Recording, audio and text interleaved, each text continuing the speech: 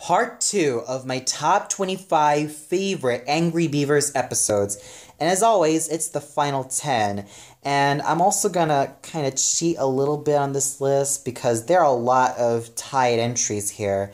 And mostly because since Angry Beavers is a Nicktoon and even one of the most hilarious Nicktoons that I've ever watched, there are always bound to be moments that are just so made of pure hilarity and just made of pure wit and class that it's actually kind of tough for me to pick one over the other as I pretty much find a lot of episodes enjoyable just the same. Hence, that's why there are a lot of tie entries on this list.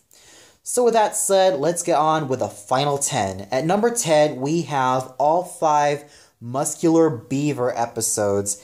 Now, Muscular Beaver was a superhero that Daggett really loved and really looked up to and even wanted to portray as well.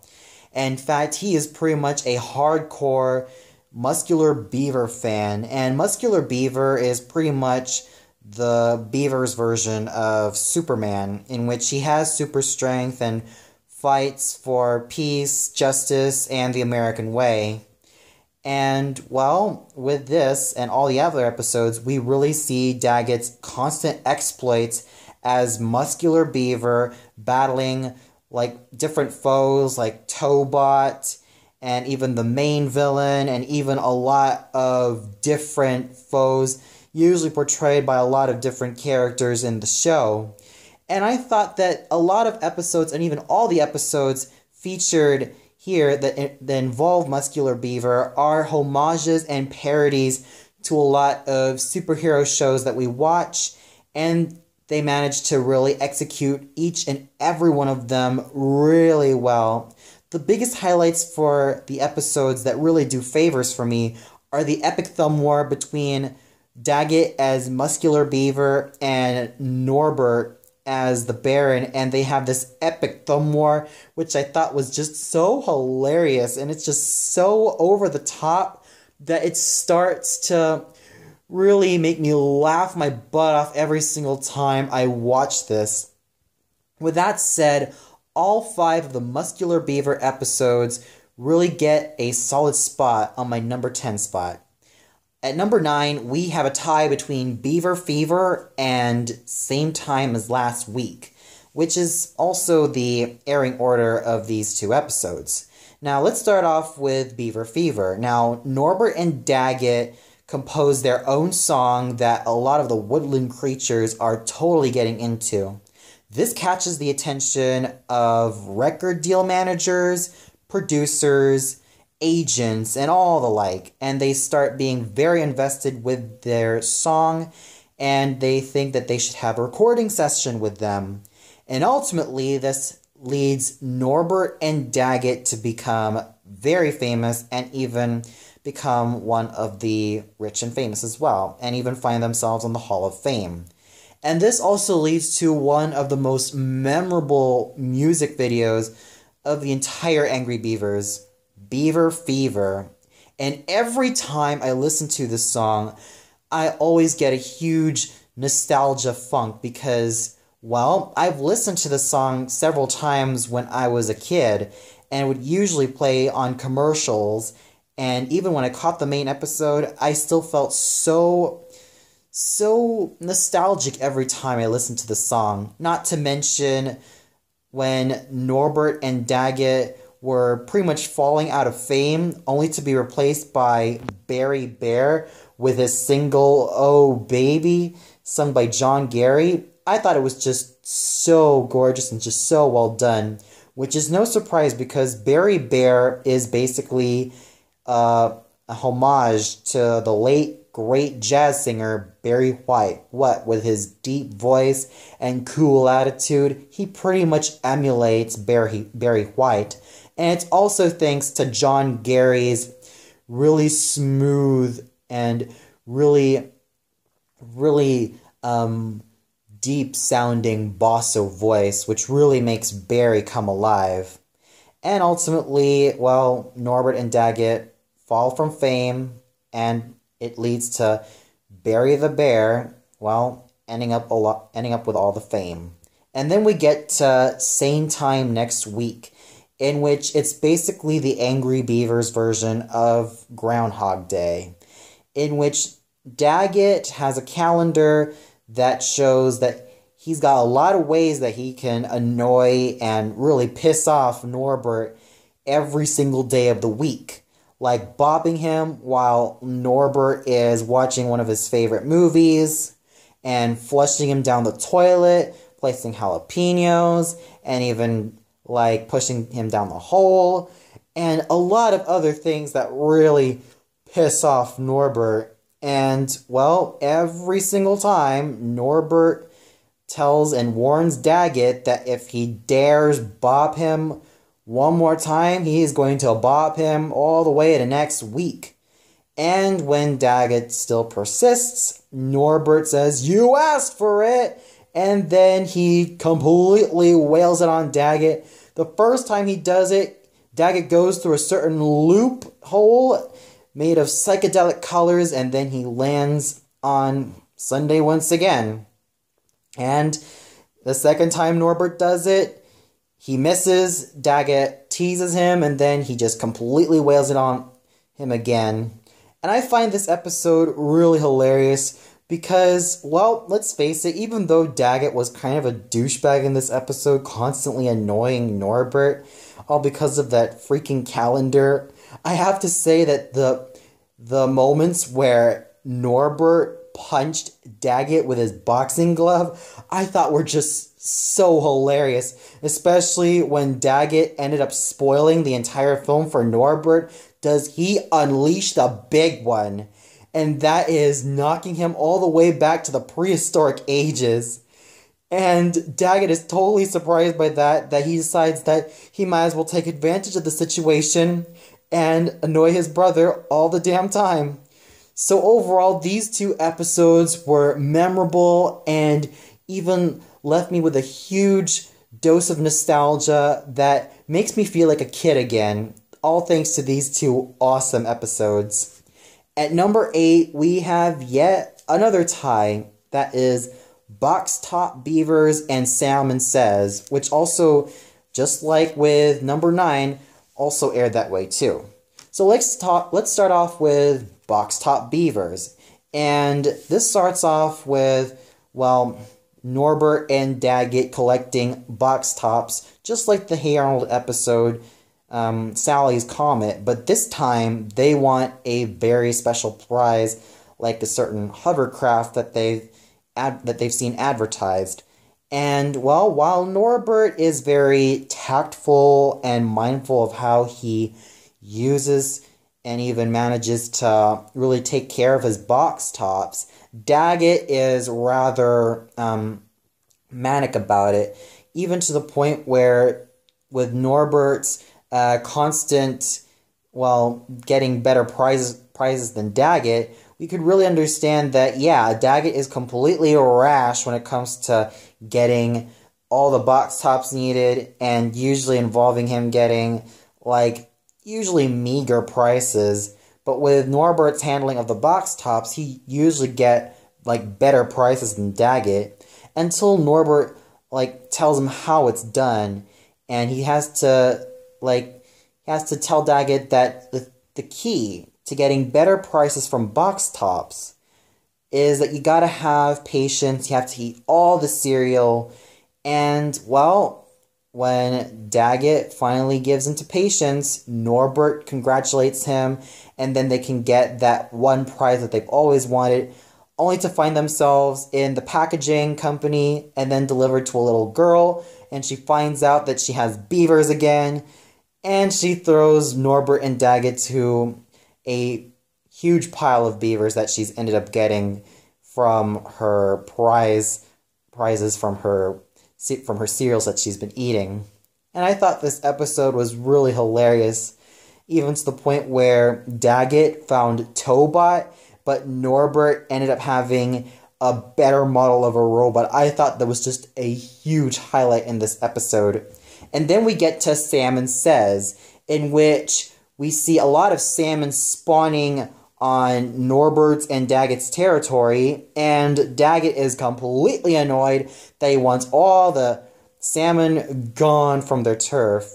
And the hugest moments that I really liked was when Daggett came out in a boxer's uniform with helmet with a helmet and a lot of protective gear and his boxing gloves saying, You want a piece of trouble? Come now, Papa.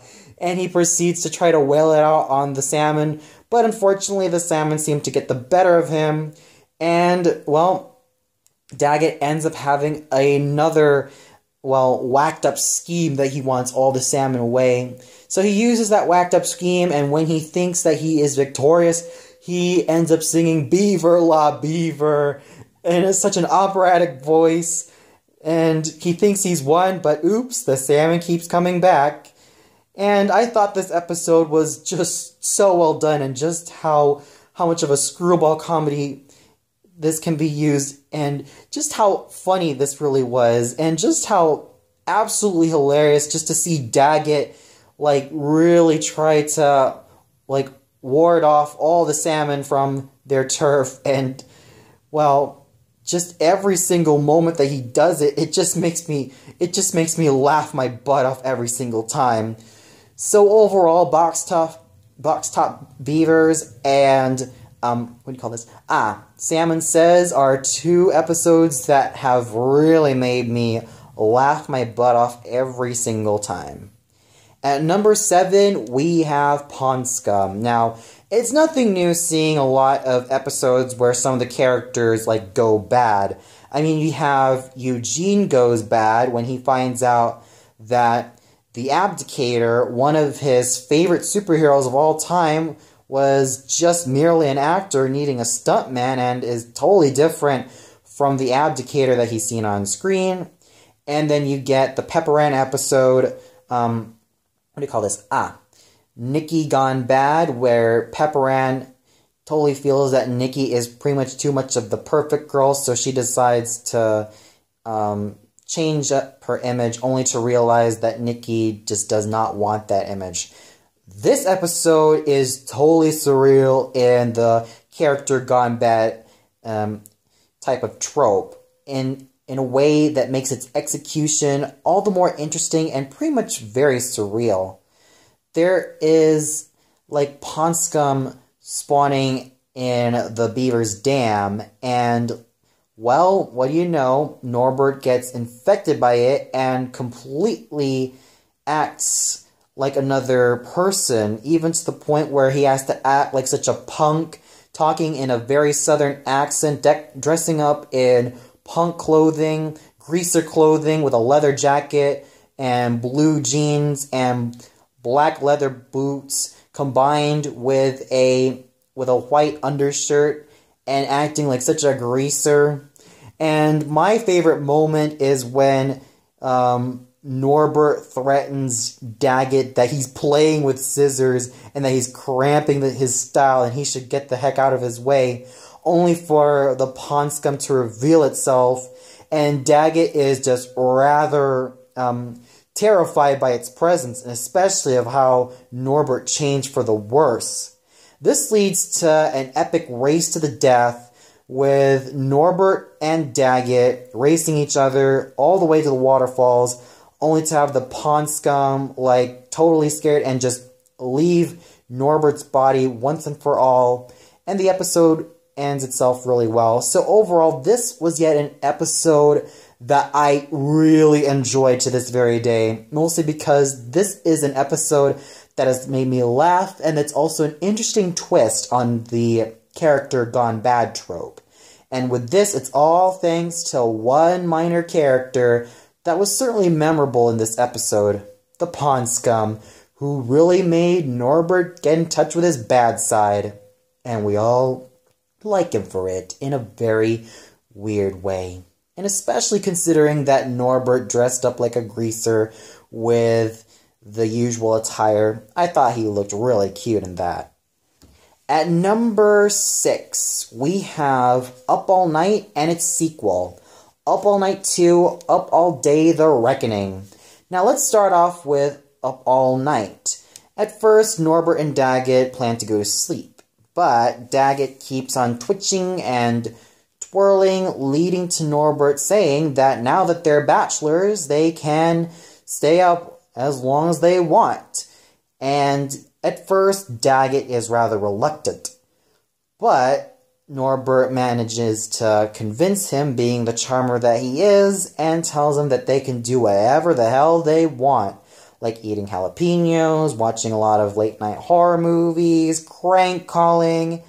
Unfortunately, this also takes a toll on them as well, as in the in the ending of the episode, we see Norbert and Daggett in a sort of stupor, laughing at themselves and just telling themselves that they see a lot of weird things happening, only to have them wake up and realizing that they've stayed up all the way to the future.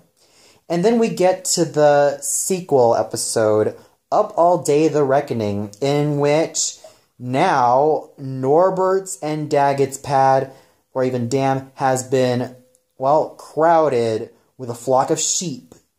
And they try to find their way out of this, this really new and interesting situation. But unfortunately, every time they try, they manage to get themselves screwed over. Even to the point where the sheep end up taking over the entire world. Insert, of course, joke here from M. Bison from the Street Fighter movie. And I thought these two episodes were just really well done. I mean, the fact that Norbert and Daggett would try to stay up all night only to have it backfire and realize that they woke up in the future, and also to have them being run over by sheep in the sequel, even to the point where the sheep end up taking over the, the entire world as soon as Norbert and Daggett sleep. I thought it was just so hilarious, so over the top, and kind of thrilling as well. At number four, excuse me, at number five, we have yet another tie episode. Go Beavers and Big Top Beavers. And let's start off with Go Beavers, in which there is an American football game being played.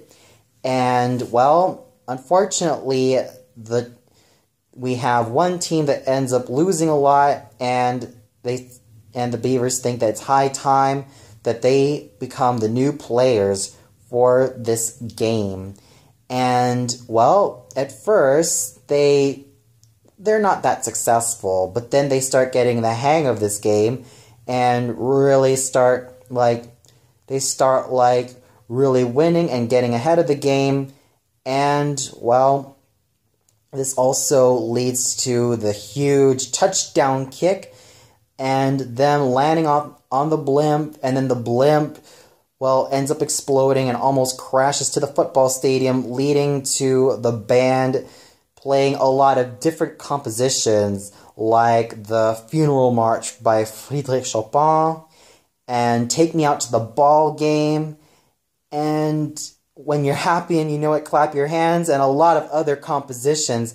And I thought that the hugest highlight for this episode was really the band playing all these different compositions. And I thought every time they were on screen, I just wanted to laugh every single time.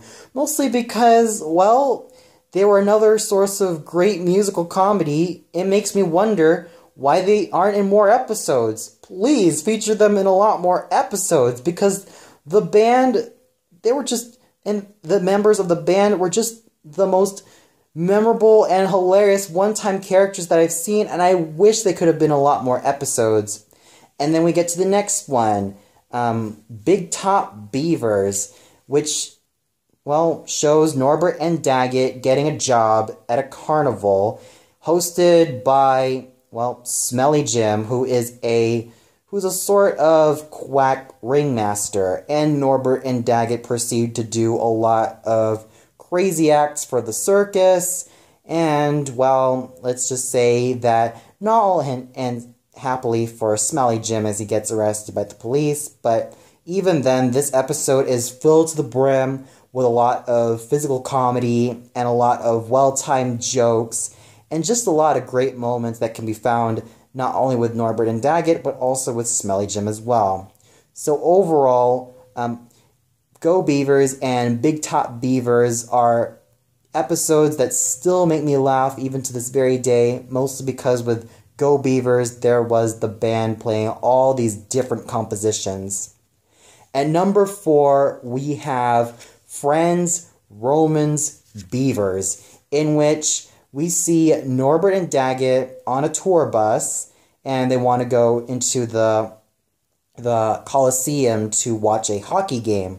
Unfortunately, due to Daggett's constant annoyances to the bus driver, they end up tearing through a portal in time and fling themselves into ancient Rome, where they encounter a lot of, well, stuff that happened in ancient Rome, like the architecture, and even entering the Colosseum itself, where they're greeted by the Caesar and his advisor.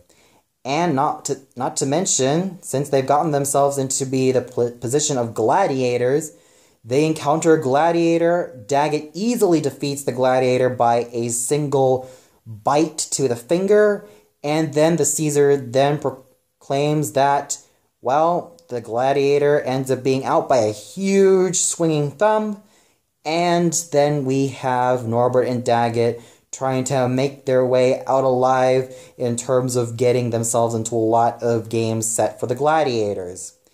And, well, when Norbert and Daggett want to hightail it out, they automatically release the giant thumb and try to take down the Emperor. And when they're doing that, the giant thumb still goes on a rampage.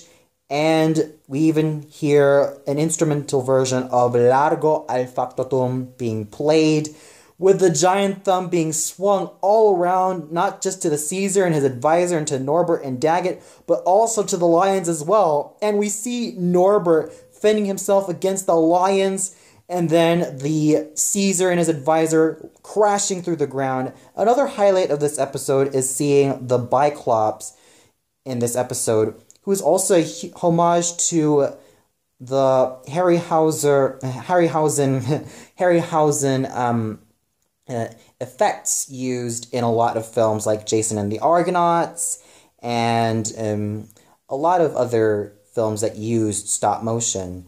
And the way that Daggett mentioned that the Biclops walked really funny was also due to the fact that this was also a pop culture reference well, mentioning how Harryhausen's and a lot of stop motion giant creatures really were and how they and how they walked and how it was a very um, tough process, especially to try to make these creatures walk in a very or even like move in a very um, mechanical yet very interesting way that seems very threatening and very exciting. So this episode was not only a homage to a lot of the Gladiator films, but also a homage to Harryhausen and even the Largo al Factotum instrumental being played in this episode was a major, major plus, especially considering that I enjoyed this episode because of it. At number three, we have Yak in the Sack Gets Thwacked talk about an episode that is a huge uh, reference to Dr. Seuss's tales, and talk about one episode that also takes great use of that. Now, there was no doubt that the Powerpuff Girls episode um, involving the Sandman was also using rhymes in terms of poems and was also played out like a Dr. Seuss novel.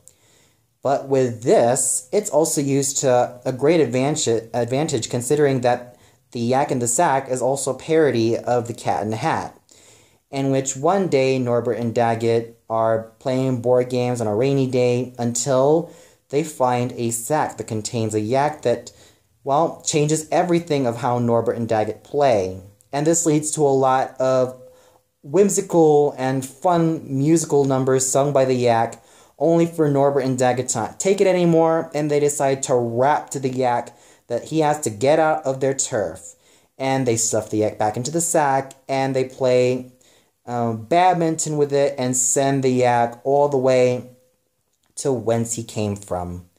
And, well, this episode is definitely hilarious because this was also a homage to the Dr. Seuss story, Cat in the Hat. And not to mention, well, its title also kind of, kind of told everything we need to know what's going to happen in this episode as well. Kind of a spoiler, but still a very interesting homage to Dr. Seuss and his works.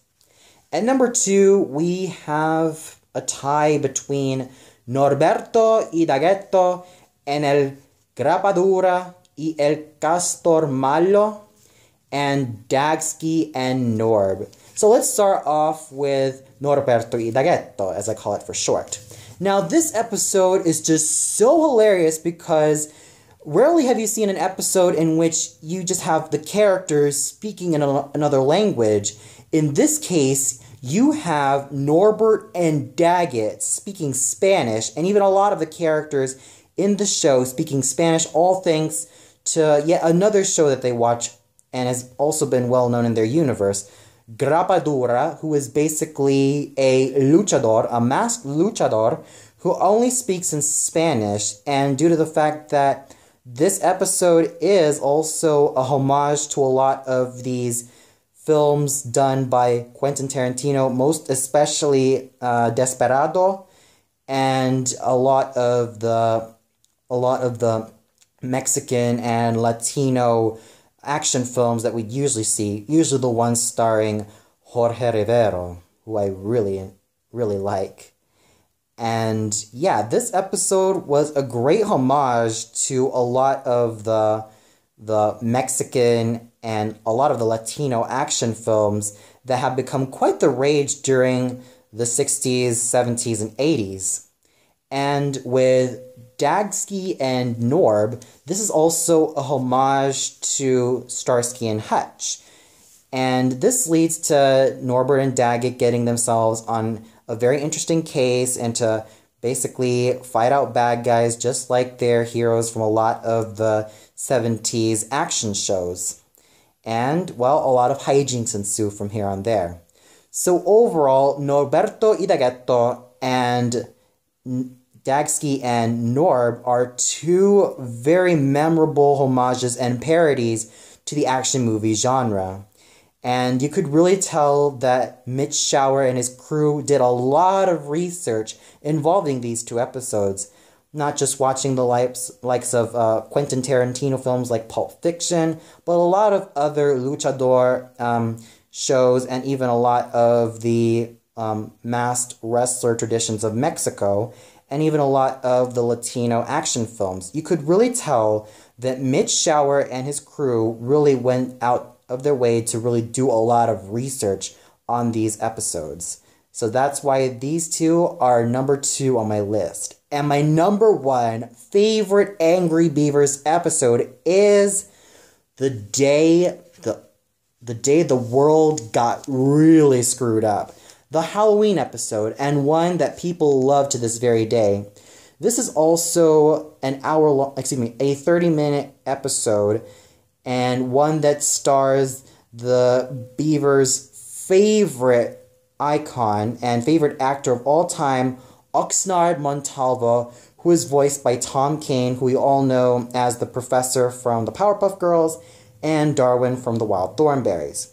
Basically, this involves Norbert and Daggett at first going out for trick or treating, only for them to encounter that there is a mansion where Oxnard Montalvo lives. So they decide to visit the man himself, only to have themselves, like, well, in a very interesting and very scary adventure involving a lot of monsters, creatures, and a lot of supernatural elements being released, even to the point where, well, all thanks to um, Montalvo's manservant, Manservante. And from there on end, there are a lot of epic moments found in this episode and a, a lot of very quotable lines as well.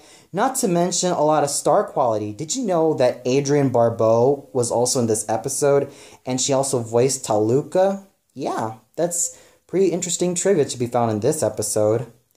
And the entire atmosphere in this episode is just thrilling, hilarious, and it just leaves you wondering what on earth is gonna be next. And that's why the day the world got really screwed up is number one on my favorite Angry Beavers countdown.